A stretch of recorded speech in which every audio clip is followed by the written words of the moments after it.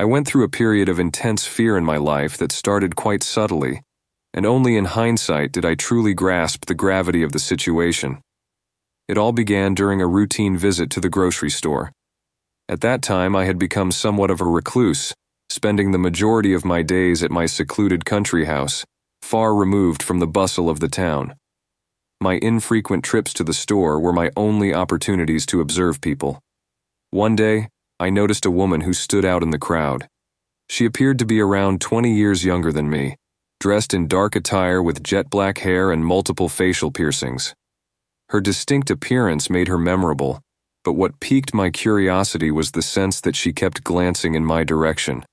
Whenever our eyes met, she would quickly avert her gaze or look down. Initially, I dismissed it, attributing her repeated appearances in my vicinity to mere coincidence in the expansive store. However, over time, I began encountering this enigmatic woman more frequently whenever I ventured into town. While I didn't initially dwell on it, I couldn't help but notice her uncanny presence. She seemed to materialize at the grocery store every time I shopped, and on several occasions, I caught glimpses of her trailing me as I turned corners. Strangely, she never pursued me when I confronted her with a direct look. Then came the unsettling letters. The first one, written in uppercase letters with a pencil, was addressed to me by name.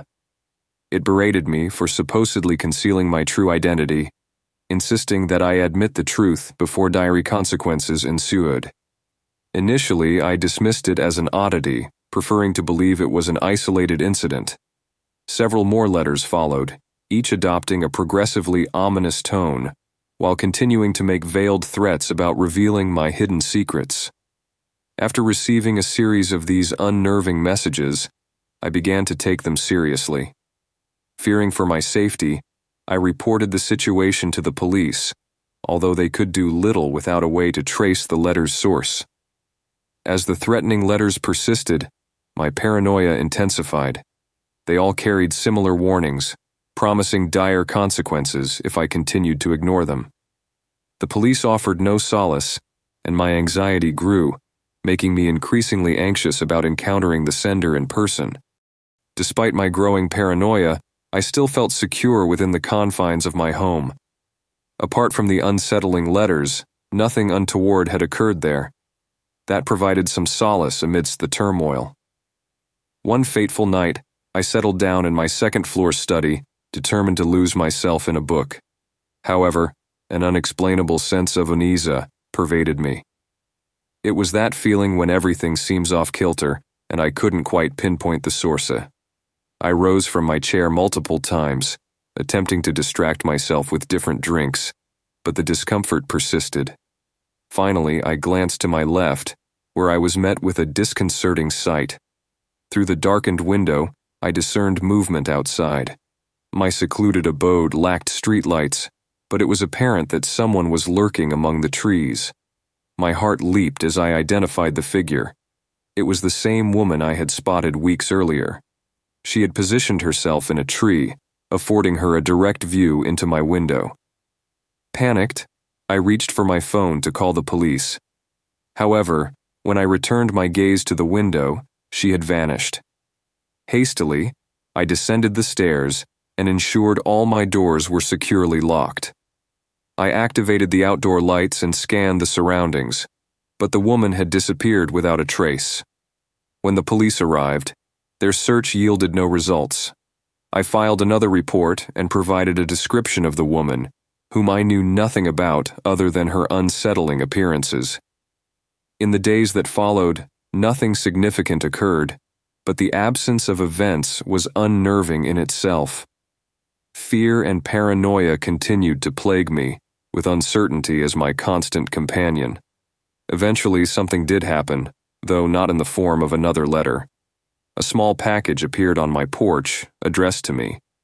I had no expectations of receiving a package, and it didn't immediately connect to the letters or the woman. However, upon opening it, I was confronted with a chilling message. A dead crow lay within. The choice of this particular bird, which I held an affinity for and had displayed images of in my home, only heightened my distress. Helplessly, I filed yet another police report. Lacking any substantial leads or information, I found myself trapped in a relentless cycle of fear and uncertainty. So, how does this story conclude? The truth may be anticlimactic. I received no more letters after the gruesome package, and the woman in the tree never resurfaced. I never encountered her on the streets again, and the threat seemingly dissipated.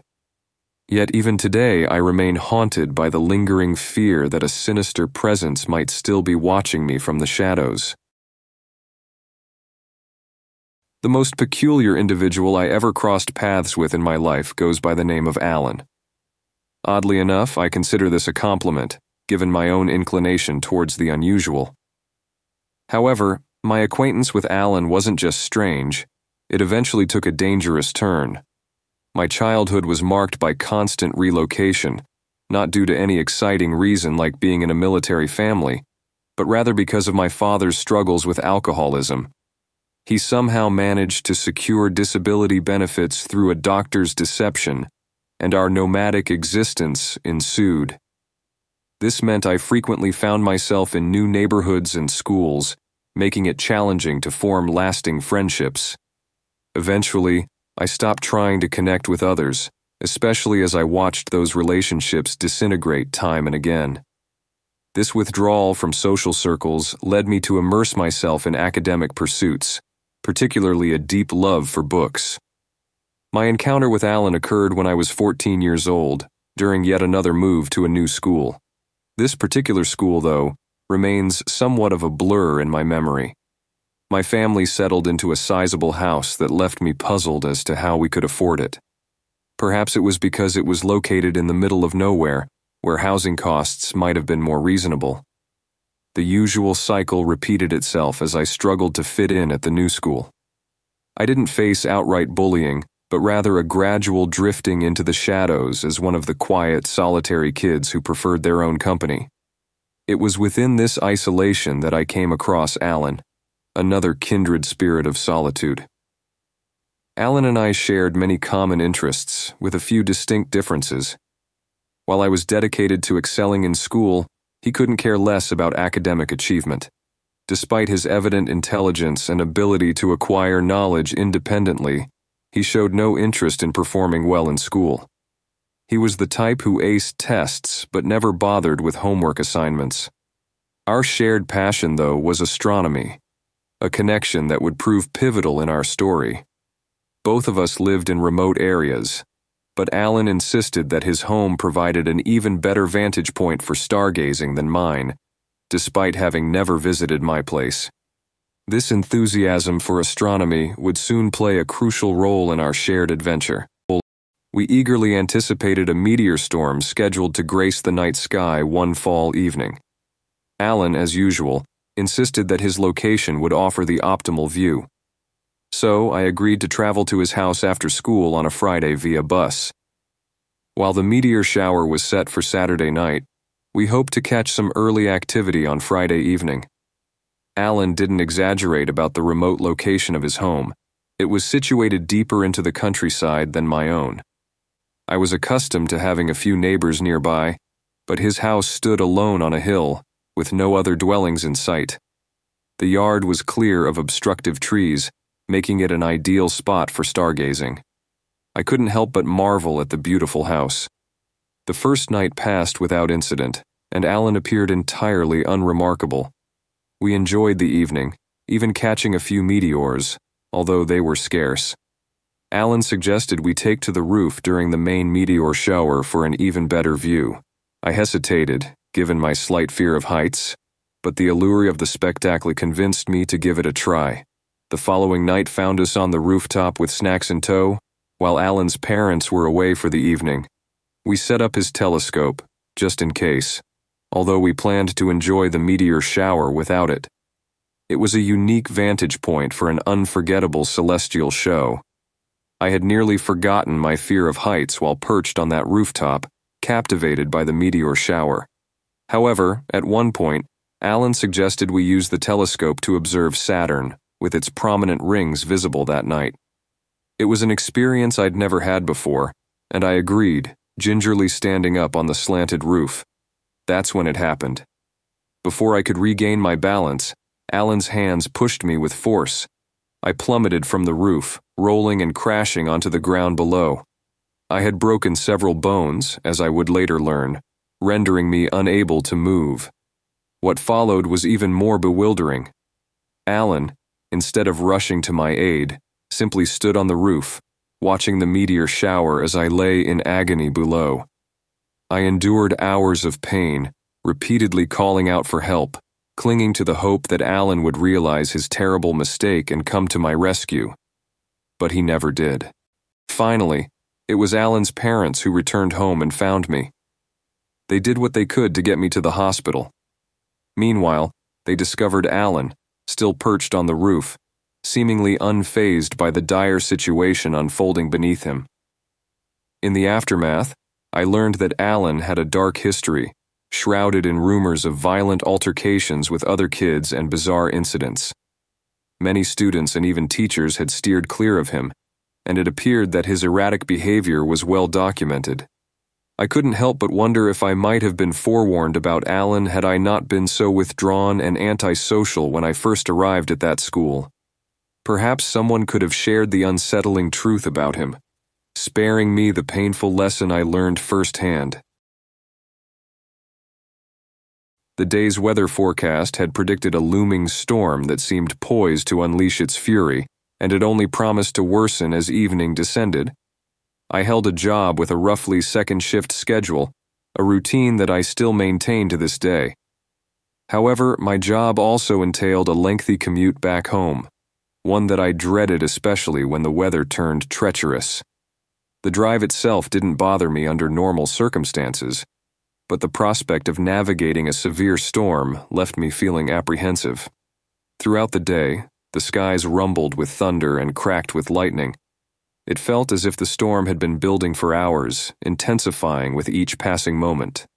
By the time I was preparing to leave work, it seemed as though this peculiar meteorological phenomenon was locked in an unrelenting holding pattern. My shift ended at 11 p.m., signaling the beginning of a journey that would take over an hour to reach my home. Given the ominous storm brewing outside, I braced myself for a significantly longer commute than usual. My route home primarily involved navigating winding back roads, some of which traversed mountainous terrain. The nature of my job often required such lengthy drives to remote locations, and I had grown accustomed to these long hauls. That night, however, with the ferocious winds violently shaking my small pickup truck, I knew I had to exercise extreme caution, which would inevitably stretch the journey even further.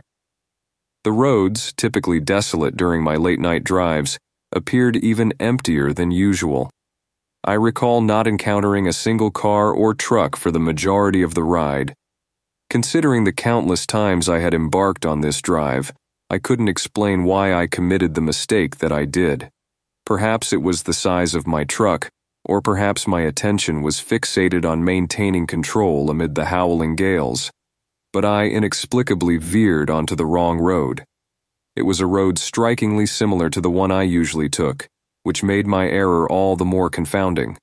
In my state of mind, I continued down the unfamiliar path, oblivious to my misdirection. Eventually, I realized my mistake, but by then, I wasn't particularly alarmed. It was just a matter of retracing my steps and getting back on track, I thought.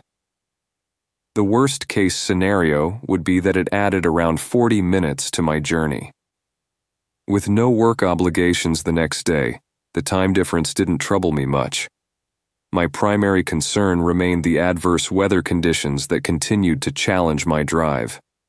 After correcting my course, I endured a grueling drive, battling the relentless storm as I aimed to reach home.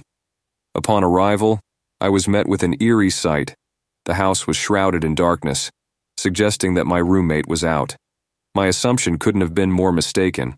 As I stepped inside, I was confronted with the grim reality that my roommate had been brutally assaulted, nearly beaten to death. In a frantic rush, I managed to get him to the hospital in the nick of time, saving his life, although it was a close call. He confided in me about the horrifying ordeal. It turned out he had been involved in the drug trade and had become embroiled in a dangerous dispute with his supplier. This altercation had led to the near fatal beating he endured. The chilling part of the story was that the attack had occurred approximately half an hour before I arrived home and discovered him. The realization sent shivers down my spine as it struck me that had I not taken that wrong turn, costing me an extra 40 minutes on the road, I might have returned home just in time to witness the drug deal gone awry and potentially suffered the same gruesome fate. It was a chilling reminder of how random choices and unforeseen circumstances can drastically alter the course of one's life.